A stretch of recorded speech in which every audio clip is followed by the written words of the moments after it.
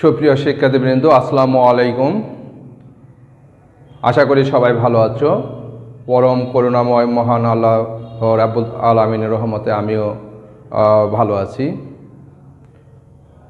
আমি মোহাম্মদ মিলন হোসেন, সহকারী শিক্ষক, ইংরেজি Srishti central school and college, Rajshahi শাখা থেকে আজকে তোমাদের যেই বিষয়টি নিয়ে আলোচনা করব সেটির নাম তোমরা দেখতে পাচ্ছ, ভয়েস, বা বাংলায় আমরা বলছি বাচ্চ। In my previous class I have already discuss on the topics of voice so I have already discuss part one that means I have in my previous class I have discuss about present tense present independent tense present continuous tense and present perfect tense. Today I shall discuss um, about past tense according to the structure of passive voice, active to passive voice. So today we shall uh, discuss part two on voice আমি তোমাদের বলেছিলাম যে voice তৈরি করতে গেলে যেই নিয়মগুলো follow করতে হয় সেই নিয়মগুলোর মধ্যে কি? প্রথমে বলেছিলাম অবজেক্টকে সাবজেক্ট অবজেক্টকে সাবজেক্ট করতে হয়। অ্যাক্টিভ থেকে প্যাসিভ ভয়েস পরিবর্তনের কিন্তু এইটা রোজ অবজেক্টকে সাবজেক্ট করতে হয়। দুই নাম্বার টেন্স অনুযায়ী টেন্স অনুযায়ী মডাল অক্সিলিয়ারি ভার্ব বসাতে হয়। তিন নম্বরে মূল ভার্বের পিপি বা এই যে আমরা ভি থ্রিও বলতে পারি। পিপি বা ভি থ্রি বসাতে হয় বা করতে হয়। পিপি করতে হয়। আমরা জানি ভার্বের তিনটা ফর্ম প্রেজেন্ট পাস্ট এবং পাস্ট পার্টিসিপল চার নম্বরে যেটা করতে হয় বাই বসাতে হয়, তবে কিছু কিছু ক্ষেত্রে ব্যতিক্রম রয়েছে। বাই বসাতে হয়। পাঁচ নম্বরে দেখো, যেমন অবজেক্টকে সাবজেক্ট করতে হয়, এটাকে বলতেছি আমরা সাবজেক্টকে অবজেক্ট করতে হয়। তাহলে আমাদের কয়টি নিয়ম মনে রাখতে হবে? পাঁচটি। কখন? যখন আমরা অ্যাক্টিভ থেকে প্যাসিভ করব। হ্যাঁ তাহলে আমাদের এটার নিয়ম হচ্ছে অ্যাক্টিভ টু প্যাসিভ ভয়েস রূপান্তরের নিয়ম। পাঁচটি নিয়ম আমাদেরকে ফলো রাখতে হবে। হ্যাঁ তাহলে আজকে আমি তোমাদের সাথে আলোচনা করতে চেয়েছি পাস্ট টেন্স পাস্ট টেন্স তার মানে হচ্ছে past indefinite past continuous past perfect এবং পাস্ট পারফেক্ট কন্টিনিউয়াস তো আমাদের ক্ষেত্রে যেটি, এই যে ক্লাস সেভেনের জন্য যেটি অ্যাপ্রোপ্রিয়েট সেটা আমরা আসলে তিনটি শিখলে মোটামুটি আমাদের জন্য হয়ে যাবে। সেটা হচ্ছে পাস্ট ইনডিফিনিট পাস্ট কন্টিনিউয়াস এবং পাস্ট পারফেক্ট এগুলো থেকে সাধারণত ক্লাস অনুযায়ী ক্লাস ভিত্তিক এই তিনটা থেকেই আমাদের জ্ঞান অর্জন করতে হবে। তো এখানে আমরা যদি পাস্ট ইনডিফিনিট টেন্সের স্ট্রাকচার আলোচনা করি, তাহলে কি হবে? পাস্ট ইনডিফিনিট টেন্স তাহলে কি হতে পারে? তোমরা অবশ্যই জানো পাস্ট ইনডিফিনিট টেন্সের স্ট্রাকচার বা গঠন হচ্ছে বলো তো কি হতে পারে? অবশ্যই জানো, তাই না? Subject V two plus object মানে সাবজেক্ট মূল ভার্বে পাস্ট ফর্ম প্লাস অবজেক্ট বাক্যটি যদি নেগেটিভ অথবা ইন্টারোগেটিভ হয়, তাহলে কি থাকে? ডিড থাকে। অথবা ডিডেন্ট নেগেটিভ হলে ডিডেন্ট থাকে। তাহলে, আমরা যদি এইটাতে ভয়েস করতে চাই তাহলে কি দাঁড়াবে? এই টেন্সটার আমরা ভয়েস করব। অ্যাক্টিভ অ্যাক্টিভ তাহলে আমরা কি করব? যেমন he drink a glass of milk তাহলে এটাকে আমরা যখন প্যাসিভ করব, তাহলে কি দাঁড়াবে? তাহলে দেখো, আমি এখন এখানে চলে আসতে হবে আমাকে অবজেক্টকে সাবজেক্ট করতে হয়। তাহলে আমার এখানে অবজেক্টকে মূল ভার্বের পরে যা থাকবে, সেটাই হচ্ছে অবজেক্ট তাহলে এ গ্লাস অফ মিল্ক আমার চলে আসলো subject a glass of milk তারপরে কি বলেছি? তারপরে বলেছি যে টেন্স অনুযায়ী মডাল অক্সিলারি ভার্ব এই টেন্সটার ক্ষেত্রে মডাল অক্সিলারি ভার্ব হিসাবে আমাকে বসাতে হবে ওয়াজ অথবা ওয়ার যদি একজন বুঝাই বা একটি বুঝাই তাহলে ওয়াজ, আর সাবজেক্ট যদি প্লুরাল হয়, তাহলে ওয়ার। তাহলে এ গ্লাস অফ মিল্ক, এক গ্লাস দুধ, তাহলে এক গ্লাস দুধ, একটি বুঝাচ্ছে না? তাহলে এই ক্ষেত্রে আমরা কি করব? Was. A glass of milk, was. তারপরে কি করব? এখানে বলা হয়েছে, দেখো, মূল ভার্বের পিপি পার্টিসিপল। তাহলে এখানে মেইন ভার্ব হচ্ছে বা মূল ভার্ব হচ্ছে ড্র্যাঙ্ক আর পার্টিসিপল হচ্ছে ড্রাং এরপরে বলা হয়েছে বাই বসাতে হয়। তাহলে আমরা কি করব এখানে? বাই। সাবজেক্টকে অবজেক্ট করতে হয়? সাবজেক্ট আমার হি, হয়ে যাবে অবজেক্ট হিম। মিনিং কি ছিল? He drink a glass of milk সে এক গ্লাস দুধ পান করে। আর এক গ্লাস দুধ তার দ্বারা পান করা হয়। পরোক্ষভাবে এটা উল্লেখ করা হলো। এখন আরেকটি কথা বলেছিলাম। অনেক সময় ডিট থাকে। কি রকম ডিট থাকে? দেখো, খেয়াল করো। I did not call her আমি তাকে ডেকেছিলাম না।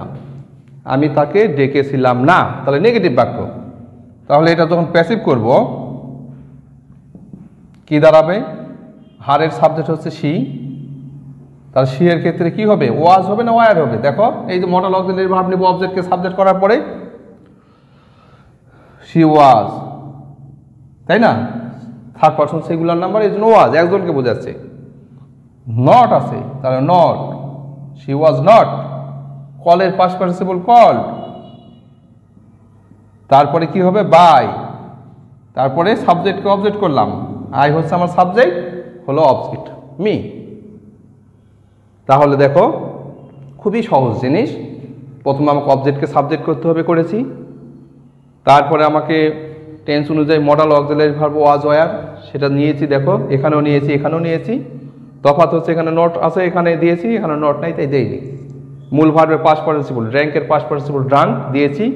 কলের পাস পার্টিসিপল কল দিয়েছি। তারপরে দেখো পাস পার্টিসিপলের পরে বাই এখানেও বাই সাবজেক্ট হচ্ছে এখানে এ গ্লাস অফ মিল্ক হ্যাঁ আর এই যে অবজেক্টকে সাবজেক্ট হচ্ছে হি আমরা এখানে হিম করলাম।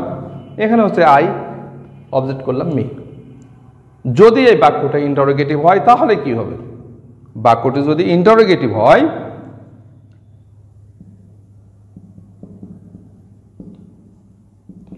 did Rina read a book তোমাদের আমি তো আগেই বলেছি যে নেগেটিভ বা ইন্টারোগেটিভ হলে ডিড থাকবে। তাহলে ইন্টারোগেটিভ করার সময় ডিড কিন্তু বাক্যের প্রথমেই থাকে, না হলে ইন্টারোগেটিভ হবে না। এটা যদি আমি প্যাসিভ করতে যাই, তাহলে কি দাঁড়াবে? এ বুক তাই না? অবজেক্ট কি? এই যে মূল ভার্বের পর যেটা আছে, এটা অবজেক্ট তাহলে অবজেক্টকে সাবজেক্ট করতে হয়। তাহলে এ বুক তারপরে কি করতে হয়?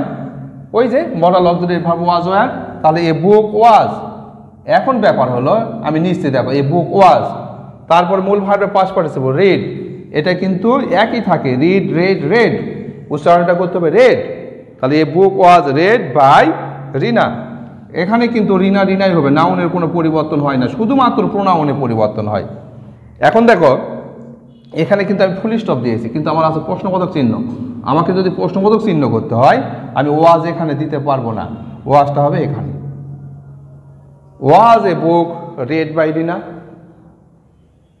যদি প্রশ্নবোধক হয়, দেখো, এখানে সাবজেক্টের পরে যখন ওয়াজ হলো সি এর পরে ওয়াজ হলো, কিন্তু ইন্টারোগেটিভের ক্ষেত্রে ওয়াজটা প্রথমে দিতে হবে। কৌশল একটাই, তুমি আগের মতোই করবা, তারপরে মনে মনে ভাবতে হবে যে এটা আসলে এখানে না হয়, বাক্যের প্রথমে দিতে হবে। তাহলেই এটা হয়ে গেল। So dear students I think it is easy for you to understand what I have already told you because you all know the rules, basic rules of past indefinite tense and the structure of active and passive voice and that's why it is so much easy for you.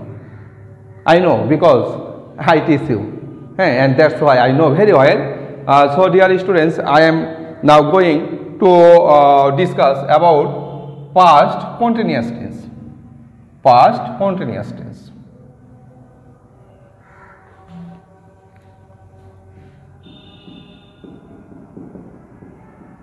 Past continuous. Structure, subject, was where তারপরে কি করতে হবে বলো ভার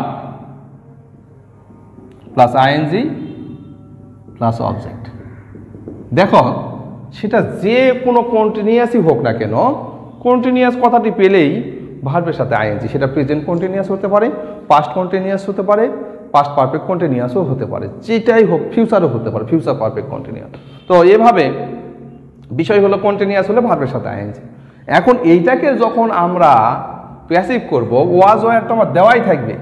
passive করার সময় খেয়াল রাখতে হবে, এখানে বিং যুক্ত করতে হয়। সেটা যে কোনো প্যাসিভেই হোক কন্টিনিউয়াস মানে বিং বিং বি ভার্বের সাথে আইএনজি তাহলে আমি যদি এটা বলি এরকম আমি বলতেছি,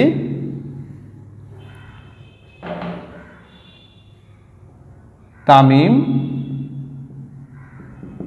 ইজ হেল্পিং রানা। তাহলে কি হবে? ও, যেহেতু এটা আমরা পাস্ট করতেছি, তামিম ওয়াজ হেল্পিং রানা। দেখো সাবজেক্ট হচ্ছে তামিম ওয়াজ হচ্ছে এখানে moral auxiliary verb main verb হচ্ছে হেল্প তার সাথে আইএনজি অবজেক্ট তাহলে প্যাসিভ করার সময় অবজেক্ট সাবজেক্ট হবে। রানা চলে আসলো। নাউনের কোনো পরিবর্তন হয় না। তাহলে কি করব? রানা ওয়াজ বিং ওয়াজ ছিল ওয়াজ বিং যদি বহু বচন হয়, তাহলে ওয়ার রানা ওয়াজ বিং হেল্পের পাস পার্টিসিপল হচ্ছে হেল্প হেল্প তারপরে বাই তামিম তামিম। আগের সব নিয়ম।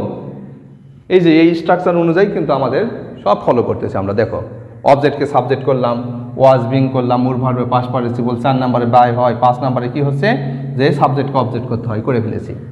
এরপরে এই বাক্যটাই যদি বলি যে I was not calling them I was not calling them তাহলে কি করব? তাহলে কি করব? বলো। মনের মধ্যে চলে এসেছে, তাই না? দেম দেম হয়ে যাবে দে অবজেক্ট সাবজেক্ট করলাম। তারপরে কি করতে হবে? এই যে বিং হ্যাঁ তাহলে দে ওয়াজ হবে? না আয়ের ক্ষেত্রে ওয়াজ ছিল দে ওয়ার তারপর নট আছে নট দাও দে ওয়ার নট বিং যদি নট থাকে বাক্যের মধ্যে, তাহলে ওয়াজ ওয়ারের মধ্যে, ওয়ার বিং, ওয়াজ বিং এর মাঝখানে নট হয়। They were not being called past participle by me. They were not being called by me. আচ্ছা এটা যদি আমরা ইন্টারোগেটিভ করি, তাহলে কি হবে? Was she writing a poem সে কি একটা কবিতা লিখতেছিল? তাহলে আমি কি করব এখানে প্যাসিভ করার সময়? ওয়াজ এ পয়েম এখানে দিব বিং এক জায়গায় হবে না। তার মানে কি অবজেক্টকে সাবজেক্ট করলাম। তার দুই দিকে ওয়াজ বিং ওয়ার বিং যেটাই হোক, দুই সাইডে বসবে। Was a poem being write writing এর পাস পার্টিসিপল হচ্ছে রিটেন রিটেন বাই কি ছিল এখানে? সি। তাহলে by her by her was a poem being written by heart দেখো, এর আগেও কিন্তু আমরা ওয়াজ এখানে দিয়েছিলাম, তাই না? প্রশ্ন করার ক্ষেত্রে মডাল অক্সিলারি ভাব বাক্যের প্রথমেই আসে। হ্যাঁ যেমন হোয়াট ইজ ইউর নেম দেখো ডাব্লিউ ইজ এবং is what is your name your নেমটা হচ্ছে আমার সাবজেক্ট তেমনি এবার প্রশ্ন করার সময় এটা চলে আসে। আমি যদি মডাল অক্সিলারি দিয়েই শুধু করতে চাই হ্যাভ ইউ ডান ইট ওয়াচি হ্যাঁ গসিপিং উইথ ইউ এইরকম করে ওয়াজ, ওয়ার এমিজার এগুলো চলে আসে। এরপরে আমরা আলোচনা করব past perfect past perfect tense তাহলে, এটার স্ট্রাকচার কি? এটা আরও সহজ subject plus had plus V three মানে ভার্বের পাস পার্টিসিপল প্লাস অবজেক্ট এখানে কি যুক্ত করতে হয়? হ্যাড তো থাকেই তার সাথে বিন যুক্ত করলেই কিন্তু প্যাসিভ হয়ে যাবে। আচ্ছা যেমন এটাই যদি বলি, তামিম হ্যাড হেল্প তাহলে পাস পার্টিসিপল করতে হবে। দেখো স্ট্রাকচারগুলো কীভাবে চেঞ্জ হচ্ছে? সাবজেক্ট হচ্ছে তামিম হ্যাড ভি থ্রি করলাম। আগে কিন্তু আইএনজি ছিল কন্টিনিউয়াসটাই রানা। তাহলে এখানে কি করতে হবে? এইটুকু দেখো, সব ঠিক থাকবে। কারণ অবজেক্ট সাবজেক্ট আমার আছেই। মূল ভার্বের পাস আছে বাই আছে সাবজেক্টকে অবজেক্ট করেছি। তাহলে হ্যাড আছে হ্যাড বিন দিব।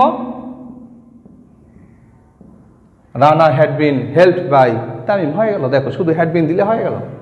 আবার দেখো I was not calling them তাহলে আমি যদি বলি আই হ্যাড নট তাহলে এখানে কলিং তো হবে না, কি কারণে? এই যে হ্যাডের পরে ভি থ্রি তার মানে এই আইন যে আমার হবে না, এর সাথে ভি থ্রি মানে পাস পার্টিসিপল হয়ে গেল ইডি যুক্ত করলে। I had not call them তাহলে দে এখানে কি হবে? হ্যাড দে হ্যাড নট এখানে বিং না হয় কি হবে?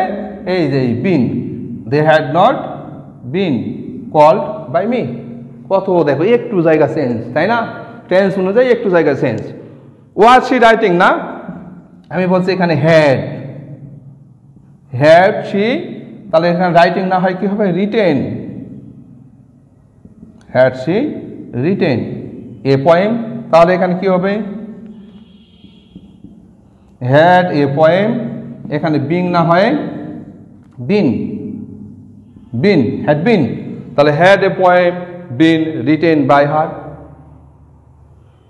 মোটামুটি এই তিনটি টেন্স আমি আলোচনা করলাম তোমাদের সাথে। মনে হয় খুবই সহজ। আমার কাছে যেহেতু আমি টিচার তোমাদের টিচিং দিয়েছি, আমার কাছে তো আসলে সহজ মনে হচ্ছে। এখন কতটুকু তোমাদের কঠিন থেকে সহজে নিয়ে আসতে পারলাম, সেটা তোমাদের উপরেই হ্যাঁ আমার সফলতা নির্ভর করছে। কিন্তু আমি জানি যে আসলে তোমরা এগুলো নিয়ে অনেক অনেক দক্ষতা অর্জন অলরেডি করে ফেলেছ। সো মাই ডিয়ার স্টুডেন্টস হ্যাঁ তারপরে একটু মনে করিয়ে দেওয়ার প্রয়াসেই তোমাদের সামনে এগুলো তুলে ধরলাম। তো হোমওয়ার্ক দেওয়ার খুব ইচ্ছা ছিল, কিন্তু হোমওয়ার্ক দিতে পারছি না। কারণ তোমাদের কাছে অ্যাসাইনমেন্ট আছে, সেই অ্যাসাইনমেন্টগুলো নিয়েই একটু চিন্তা ভাবনা বেশি করো। হ্যাঁ এগুলোর হচ্ছে মূল্যায়নের ধারা। তো তার পাশাপাশি আমাদের এই ক্লাসগুলো তোমরা ফলো করবে। আসলে বিন্দু বিন্দু থেকেই সিন্দুর জন্ম হয়, তাই না? একটু একটু একটু করে শিখতে শিখতে শেখার কোনো শেষ নাই, যে এগুলো আমি জানি। কিন্তু তারপরেও দেখো এক্সাম্পলগুলো হয়তো আমি অনেকভাবে দিলাম। হ্যাঁ তোমাদের কাছে এগুলো হ্যাঁ এই জানতে জানতে জানতেই এক সময় কিন্তু অনেক কিছুই জানা হয়ে যাবে। ছ সব সময় সততাপূর্ণ পরিবেশে থাকবে। সব সময় সত্য কথা বলবে, সব সময় লেখাপড়ার মধ্যে থাকবে এবং বাবা মার কথা অনুযায়ী চলবে। তোমাদের ভবিষ্যৎ সত্যিকার অর্থেই সুন্দরভাবে গড়ে উঠবে। সো ডিয়ার স্টুডেন্টস কথা আর নয়। আজকের ক্লাস আমি এখানে শেষ করতেছি। হ্যাঁ যাবার আগে একটু কথা বলি। সেটি হচ্ছে, তোমার, তোমরা কিন্তু দেশের চালিকা শক্তি। তোমরা ভবিষ্যৎ জেনারেশন এবং তোমাদের উপরে ডিপেন্ড করবে জাতির ভবিষ্যৎ। এই কারণে নিজেকে সুন্দরভাবে গড়ে তোলো। তাহলে দেখবে তোমার সমাজ তোমার দেশ, তোমার পরিবার, সর্বোপরি তুমি নিজেকে একটা আলোকিত ব্যক্তি হিসেবে গড়ে তুলতে পারবে। সো আজকে এখানে ক্লাস শেষ করছি। সবাই ভালো থেকো। আল্লাহ হাফেজ।